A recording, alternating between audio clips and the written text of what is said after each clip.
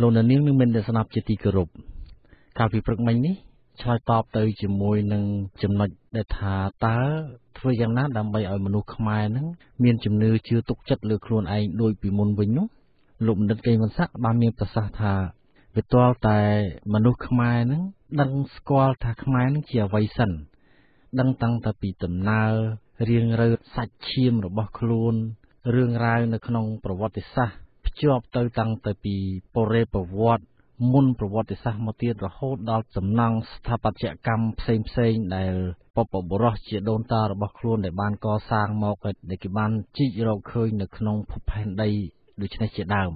រហូតដល់ទៅទម្រង់ទ្រង់ទ្រាយនៃពាក្យសម្ដីទៀតផង ហើយសម្រាប់ពេលនេះ គឺជាសេចក្តីបន្តនៃពាក្យទូនមានឬក៏ប្រឹក្សារបស់លោកមនិតខេងវន្ស័ក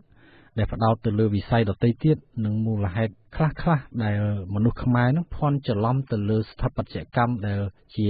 ស្នាដៃរបស់ដូនតារបស់ខ្លួនសូមជឿមិនហ្នឹងហើយងាកទៅមើលខាងសិល្បៈចម្លាក់សំណង់ផ្សេងផ្សេងប្រាសាទអីអីទាំងអស់គេនាំគ្នាពយល់ឲ្យយើងជឿថានៅនៅសិទ្ធិពួកឥណ្ឌាព្រាមប្រមាញ់សាសនាទាំងអស់ គេធ្វើមិនមែនជាខ្មែរធ្វើទេអាពួកមកពួកទៀតកពីចិននោះវាថាចិនពុស្នកាកូនតាលឹមសេងនៅសៀងហៃទេអីសងឡើយនោះហើយពួកលោកសង្ឃខ្មែរនោះជួយទ្រឹស្ដីហ្នឹងថានៅប្រអិននេះនេះលោកធ្វើមុនគឺគឺលែងទៅជាខ្មែរមនុស្សមែនតែនហើយពួកអ្នកគ្នាសែងថ្មដាប់ថ្មឆ្លាក់ថ្មអីហ្នឹងអាហ្នឹងអត់ទីអីទេអាហ្នឹងគ្រាន់ជាប្រដាប់ម៉ាស៊ីនជាសัตว์ នឹងគេឲ្យដាប់បានប្រហែលថ្ងៃងាប់ទៅគឺទាត់ចោលទៅនេះហើយថាទាំងអស់ហ្នឹងជាប្រអិនអ្នកធ្វើហើយមកពួកទៀតថាទេស្ដាច់ទេម្ល៉េះហើយគឺថាប្រាសាទអង្គរហ្នឹងគឺសយរ៉ាម៉ានទី2អញ្ចឹងទៅប្រាសាទបាយ័នហ្នឹងជាយរ៉ាម៉ានទី7អីអញ្ចឹងទៅហើយពួកហ្នឹងមានធ្វើអី តែពួកបាគូពួកជាងអ្នកចម្លាក់ពួកអីនេះទេដែលគេធ្វើគេសង់គេសាងដល់យូរទៅពួកអ្នកស្រុកពួកយុវជនពួកអ្នកសិក្សាហ្នឹងអត់ឆ្លាញ់ថារបស់ហ្នឹងជាបរទេសធ្វើឬមួយជាលើមេឃអរូបីវិណាមកធ្វើមិនមែនជាកម្លាំងស្នាដៃរបស់ជនជាតិខ្មែរយើងនឹងទេគេបរទេសគេខំជួយប្រាប់ពយល់យើងផងថានេះនឹងជាស្នាដៃខ្មែរវាសរសេរពយល់ថានឹង នៅនៅមិនថ្មទេអានឹងគឺសត្វដីឥដ្ឋដែលគូស្នូកាហ្នឹងគេចេះមន្តគុំហ្នឹងគេមកសូនហើយគេផ្លុំមួយរឹងទៅថ្មណែចេះទៅវិញឆ្កយយើងទៅមានមានមានមិនមែនទេមានអាមកពួកនោះគឺថាវាខំធ្វើមិនគឺកំតិចកុំឲ្យមានអីជាខ្មែរនៅក្នុងមករហូតមកដល់សម័យចុងក្រោយ1970ហ្នឹងគឺថានរណាដែលយល់រៀនបង្រៀនហើយសរសេរស្អីជាខ្មែរអានឹងបត់ជាតិហ្នឹងទៅចាប់យកមកបាញ់ចោល ចងទាំងរស់ឲ្យទម្លាក់ពីលើបុកគោមកឲ្យខ្លាស៊ីណាហើយលោកគិតមើលមានដែរមានអញ្ចឹងណៃមានទៅត្រូវមកសួរខ្ញុំថាមិនក៏យើងនឹងក៏ស្អប់គ្នាឯងស្អប់ជាតិឯងហើយនិយមទៅគេបរទេសនិយមពីព្រោះឃើញអ្នកបរទេសគេមិនធ្វើដូចយើងអញ្ចឹង តែយើងមួយមិនចង់ដឹងមិនចង់រៀនអីរបស់ឯងផងនិយាយថាកម្មមុនអាបរាំងវាហាមឲ្យរៀន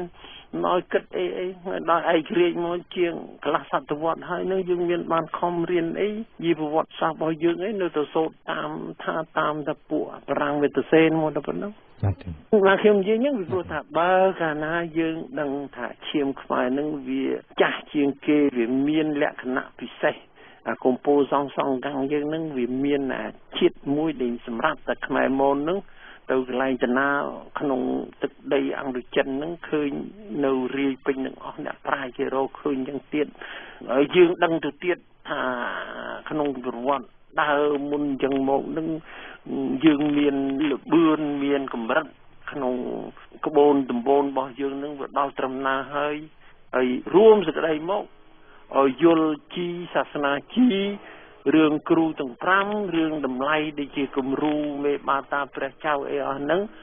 យើងយល់នឹងច្បាស់ទៅទុកថាមិនអីក៏បានថាជា50%ដែរដែល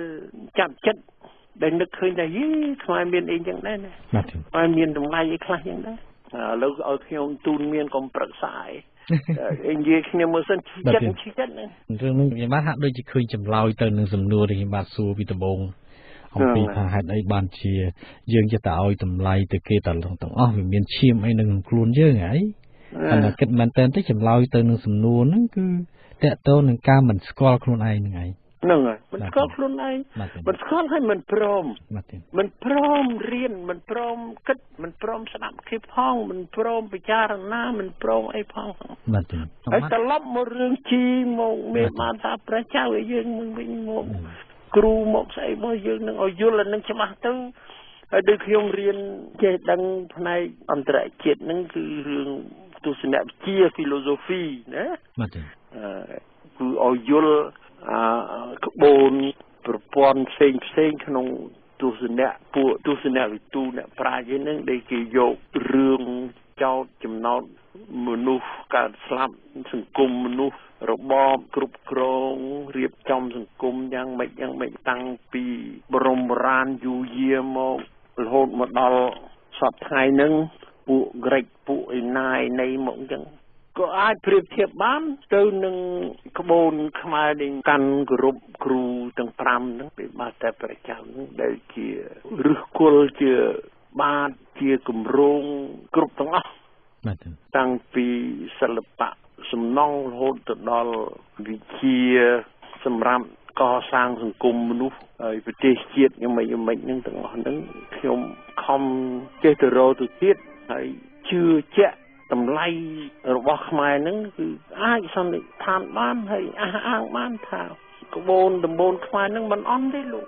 មានតម្លៃសឹងនឹងជាងគេទៅទៀត